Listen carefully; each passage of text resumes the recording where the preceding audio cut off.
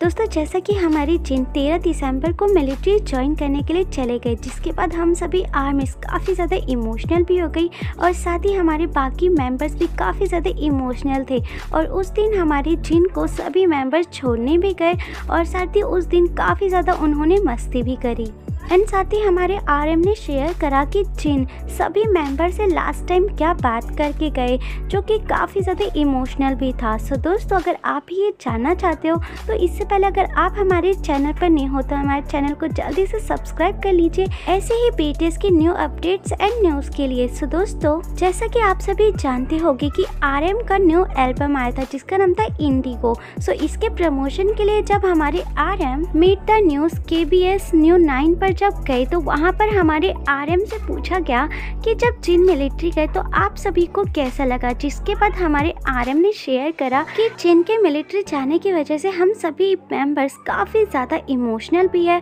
और साथ ही जब हमारे आरएम से पूछा गया कि चीन, आप सभी से लास्ट टाइम क्या बात करके गए? तो इस पर हमारे आरएम ने बताया कि चीन ग्रुप के सबसे बड़े मेंबर है और वो हमारे बड़े भाई होने के नाते उन्होंने जवाब दिया कि मैं सबसे पहले मिलिट्री जाकर अपना बेस्ट दूँगा और साथ ही जो भी मेरा एक्सपीरियंस होगा वो मैं आकर सभी मेंबर्स को बताऊँगा ताकि वो भी जाकर अपना बेस्ट दे सके। एंड साथ ही जिन ने बोला कि मैं चाहता हूँ कि मेरे जाने के बाद आप सभी बिल्कुल भी इमोशनल ना हो आप सभी बिल्कुल हेल्थी रहे और खुश रहे। सो दोस्तों रियली ये काफ़ी ज़्यादा इमोशनल मैसेज था हमारे जिन की तरफ़ से। So, दोस्तों अगर आप भी हमारे जिन को मिस कर रहे हो तो कमेंट बॉक्स में आई मिस यू जिन लिखकर ज़रूर जाना। एंड साथ ही अपने बाकी आर्मी फ्रेंड्स को भी ये वीडियो शेयर करना बिल्कुल मत भूलना, ताकि उनको भी जिनकी ये बात पता चल सके। और साथ ही वीडियो पसंद आई हो तो वीडियो को लाइक ज़रूर कर देना, एंड हमारे चैनल को जल्दी से सब्सक्राइब करके बेल नोटिफिकेशन को ऑल पे कर लेना, ताकि हमारी कोई भी वीडियो आए तो आपके पास नोटिफिकेशन के थ्रू सबसे पहले पहुँच सके।